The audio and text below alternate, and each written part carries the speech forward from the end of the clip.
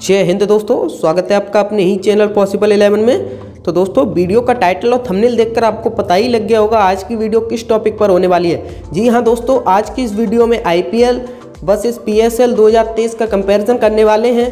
तो वीडियो को बिल्कुल भी स्किप मत करना फ्रेंड्स वीडियो पूरी देखना। लेटेस्ट न्यूज़ और लाइव अपडेट के लिए अभी तक आपने टेलीग्राम चैनल ज्वाइन नहीं किया तो लिंक आपको डिस्क्रिप्शन में मिल जाएगी। दोस्तों, आप वहाँ से टेलीग्राम चैनल को ज्वाइन कर सकते हैं। आईपीएल के बारे में आपको कुछ बेसिक जानकारी बता देता हूँ। दोस्तों, आईपीएल की शुरुआत 2008 में हुई थी, जिसको विश्व की पहली टी ट्वेंटी लीग के तौर पर पहचान मिली है दोस्तों। वैसे ही पाकिस्तान सुपर लीग आईपीएल के दोस्तों, आठ साल बाद 2016 में शुरू हुई थी। और इसके अलावा दोस्तों, कुछ और कई लीग शुरू हुई हैं, जैसे बांग्लादेश प्रीमियर लीग और लंका प्रीमियर लीग जैसी लीग और भी शुरुआत हुई थी दोस्तों।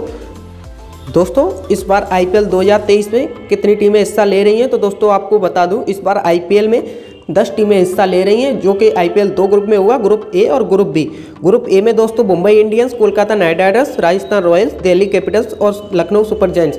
और दोस्तों, ग्रुप बी में Chennai Super Kings, Sunrisers Hyderabad, Royal Challenge Bangalore, Punjab Kings और दोस्तों, गुजरात टाइटन्स ये दोनों टीमें हैं, लेकिन फिर भी हर टीम में दोस्तों चौदह चौदह ही मैच खेलेंगे। कुल सत्तर ही मैच होंगे दोस्तों। अंतर यह है कि सभी टीमों में आपस में दो दो बार नहीं भिड़ेंगी दोस्तों इस बार। दोस्तों, वहीं पाकिस्तान सुपर लीग की बात करूँ तो यह एक टी क्रिकेट लीग है, जिसकी स्थापना लाहौर के पाँच टीमों के साथ 9 सितंबर 2015 को हुई थी दोस्तों। अब इसमें छः टीमें हिस्सा लेती हैं दोस्तों, जो कि पेशावर जालमी, कराची किंग्स, मुल्तान सुल्तान्स और दोस्तों इस्लामाबाद यूनाइटेड्स और दोस्तों लाहौर कलंदर्स। और कोयटा ग्लेडिएटर्स ये छः टीमें हैं जो कि इसमें हिस्सा लेती हैं दोस्तों। दोस्तों 2023 में आईपीएल कितने ग्राउंड में खेला जाएगा तो आपको बता दूँ दोस्तों 2023 में आईपीएल 10 शहरों के स्टेडियम में खेला जाएगा दोस्तों, जिसकी शुरुआत मार्च 2023 में खूबसूरत क्रिकेट स्टेडियम में होगी दोस्तों। दोस्तों, वहीं पाकिस्तान सुपर लीग क्रिकेट स्टेडियमों की बात करें तो ये कितने स्टेडियम में ये मैच खेला जाएगा दोस्तों सीरीज़ के तो आपको बता दूँ, कराची लाहौर, रावलपिंडी और मुल्तान। चार स्टेडियम में दोस्तों, ये चौंतीस मैच खेले जाएँगे दोस्तों।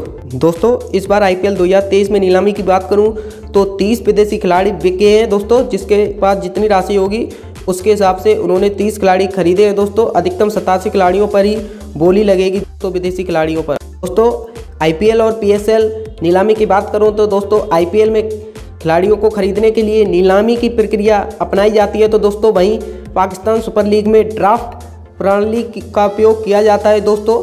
दोस्तों, इस बार आईपीएल 2023 में सबसे महँगा खिलाड़ी बिकने की बात करूँ तो दोस्तों ऑक्शन ने सभी को हैरान कर दिया है दोस्तों। इस बार नीलामी में सबसे महँगे खिलाड़ी बिकने का रिकॉर्ड बनाया है दोस्तों। पंजाब किंग्स के all rounder English Sam Curran को दोस्तों, साढ़े अठारह करोड़ कीमत देकर अपनी टीम में पंजाब किंग्स में शामिल किया है दोस्तों। वहीं पाकिस्तान की बात करूँ दोस्तों, पाकिस्तान के सबसे महँगे खिलाड़ी बाबर आज़म को 2.3 करोड़ में दोस्तों शामिल किया है। दोस्तों 2022 में दर्शकों की संख्या दोस्तों, आपको बता दूँ, टूर्नामेंट ने टेलीविज़न और ओ प्लेटफॉर्मों पर 426 मिलियन की दर्शकों की रिकॉर्ड तोड़ संख्या दर्ज की थी दोस्तों, आईपीएल 2022 में। वहीं इस बार आईपीएल 2023 में और लोगों की संख्या दोस्तों बढ़ सकती है।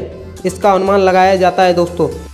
दोस्तों आईपीएल वर्सेस पीएसएल की सबसे बड़ी लीग इंडियन प्रीमियम लीग में कई देशों के खिलाड़ी दोस्तों हिस्सा लेते हैं। हालाँकि पाकिस्तानी प्लेयर्स बीसीसीआई ने मुंबई दोस्तों अटैक के बाद यहाँ पर रोक लगा दी थी खेलने से। वहीं कई बार पाकिस्तानी खिलाड़ी पाकिस्तान प्रीमियम लीग को आईपीएल से ज़्यादा बेहतर बताते हैं दोस्तों और आईपीएल की तुलना करते हैं दोस्तों पीएसएल से। वहीं आईपीएल और पीएसएल में खिलाड़ियों को सैलरी की बात करें तो दोस्तों, एक भारतीय खिलाड़ी की सैलरी 10 पाकिस्तानी प्लेयर्स पर भारी पड़ती है दोस्तों।